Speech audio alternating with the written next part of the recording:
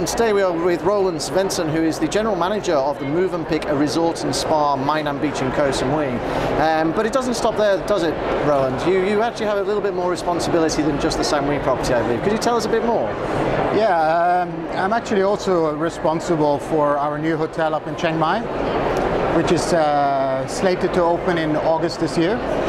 It's actually a rebranding. We are uh, taking over the old Suriwongse Hotel, which is 48 years old hotel, doing a complete renovation inside outside, adding 100 rooms, and uh, very excited about it.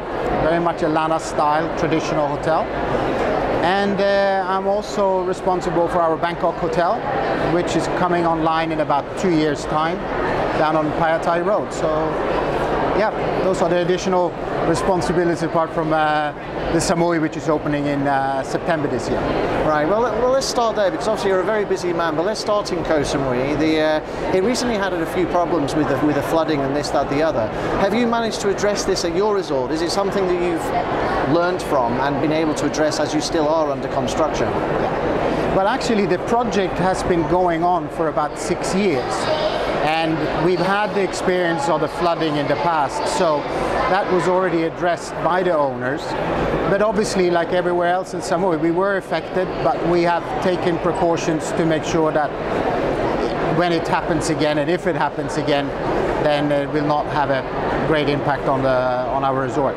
Right now, obviously, Samui is a beautiful destination. The waters are uh, it's just a beautiful destination, but there are a lot of resorts there. How what makes your resort stand out from the others? Well, first of all, um, we are absolute beachfront. Uh, we are in a stretch of about 300 meters beachfront with a fantastic view of uh, Koh Phangan. Uh, also, with our resort, we are 81 villas. We're about 135, 140 square meters, but they're not really enclosed. They're not gated like you see a lot of other resorts.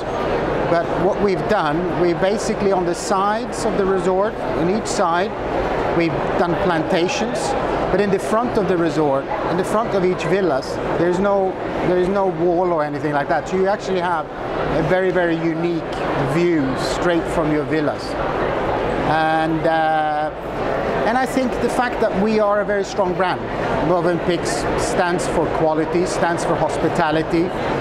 The link between, I think, Swiss, passionately Swiss, and the Thai hospitality makes us very unique. And so we're very excited about that. Some would say the whole the whole concept, the whole idea between a villa property when you have individual villas is the privacy.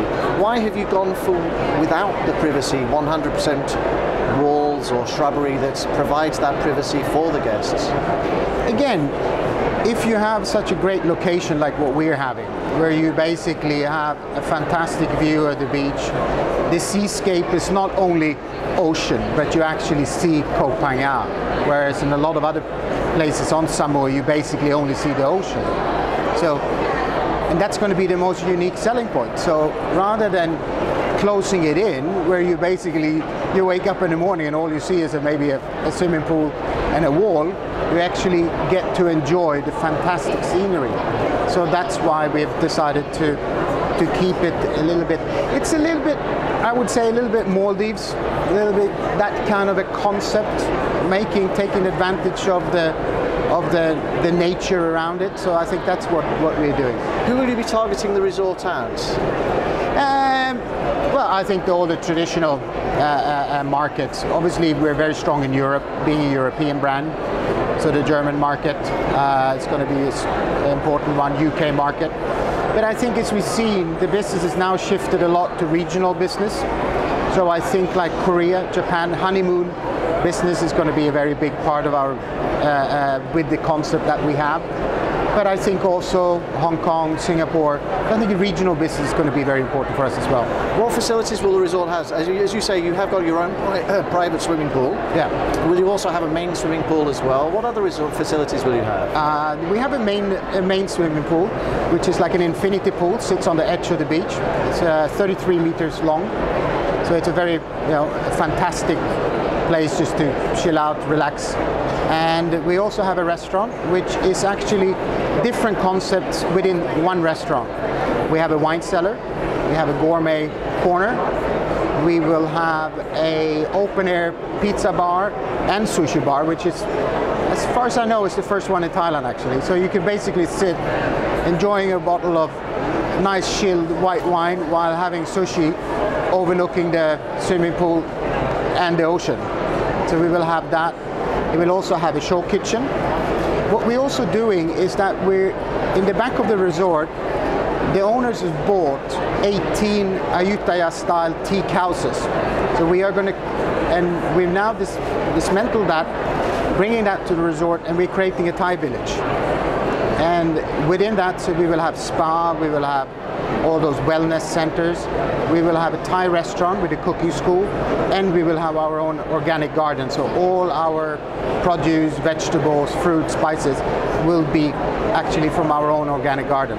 Oh, very nice. Yeah, so very unique, very unique concept. Will you be managing the spa yourself, or will you be bringing somebody in to do that? No, we're managing it ourselves. Right. Yeah, yeah. Does Movenpick have its particular spa brand? No, we don't. We don't. We we very much the way Movenpick works. Each individual uh, property has its own identity. We have. Uh, we have our own, each one has its own spa, and that's something that we very much done in Movenpick, rather than trying, for example, it's the same thing with, we don't categorize our hotels into, for example, a grand, uh, um, an inn or a, you know, we very much, everything goes under one, regardless if it's, we're all upscale, but could be super upscale or middle upscale, but it still goes under the, the brand of, of Movenpick. So no, we will manage our own. Okay. Now, in terms of the rates, what sort of rates? Are you, where, which where, which region are you in in terms of the rates? Um, we haven't really finalized that yet. Uh, we're ATF is a, the time when we're now starting to look into what rates you know we're going to do. Obviously, there are a lot a lot of products come online in the last 18 months, and there are some more resorts coming, and it seems like they're all kind of in our upper end market. So I think it's too early right now. We're kind of testing the waters, getting the feedback. With ITB, we should have a pretty good idea. So I will keep you posted on that one. All right, excellent. What is the what is the philosophy in terms of Movenpick? A lot of people now are saying that internet should be free. Carlson, Shangri-La, Best Western, there is free throughout all of their properties. Um, with this Movenpick resort in Spa, a lot of people complain that it's a, it's a necessity now. Um, what will your what will your philosophy be between behind the minibar in terms of prices and also the internet as well? Um, with internet, uh, we will go. We will. We will um, have it free of charge. But if, of course, if you want to download big files and so forth, there will be a surcharge.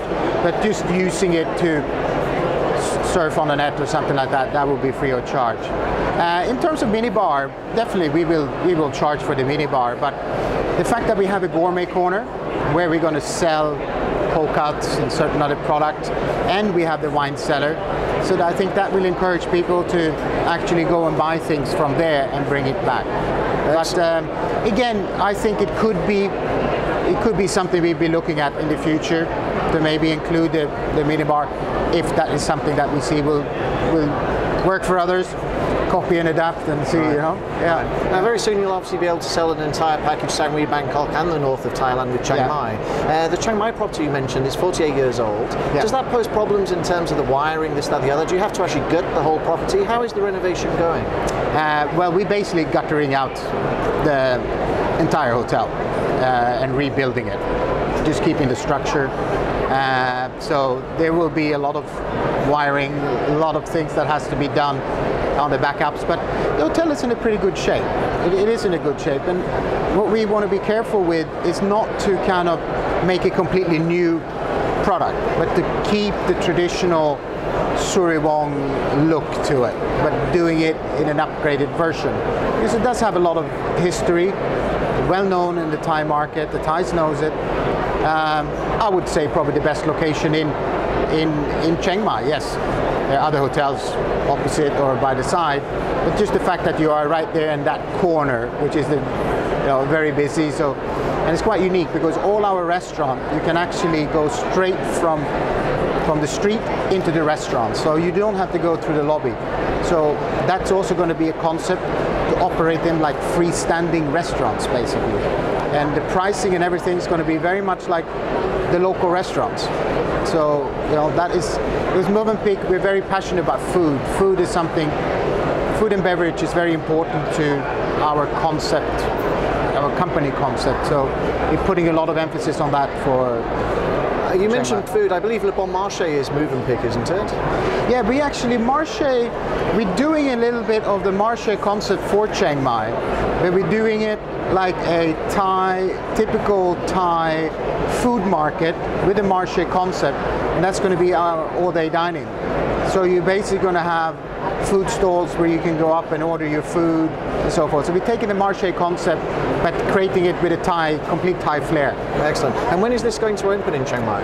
And soft opening in August. In August of this year. August this So you year. have the double. You have the soft, the, the opening in Samui in August, and as well as in Chiang Mai. In August. Yeah, it's a little bit back to back, so uh, it's going to keep me keep me busy for the next couple of months. You can say so. Excellent. And Bangkok. You mentioned Bangkok as well. That's going to be about around Phaya Thai, which is where exactly around Phaya Thai will it be? It is uh, about say five minutes walk from the from the um, airport link. It's very close to the Victory Monument BTS station, and it's quite unique because it was built as a hospital. So the, actually the structure is already there. And because it was built as a hospital, from floor to ceiling, it's about seven meters because a hospital needs more room for ducting and so forth. So all 85% of all the room will be loft style with a panorama window. So a room of 40 square meters, when you actually walk into it, it feels like you're 60, 70 square meters. And that's going to be very unique. Now, will this be floor to ceiling windows Yes, yes. in all the rooms? And Yeah. will, it, will it be a mezzanine level so that uh, you are sleeping on the upper level? Yes, exactly, exactly. You kind of it's overhanging the living the living room with uh, with a kind of a glass glass uh, wall Divider, yes, or something right. like that. So you basically when you wake up, it's overhanging the, the living room. Ah, excellent. Yeah, very unique. And when is this scheduled to open?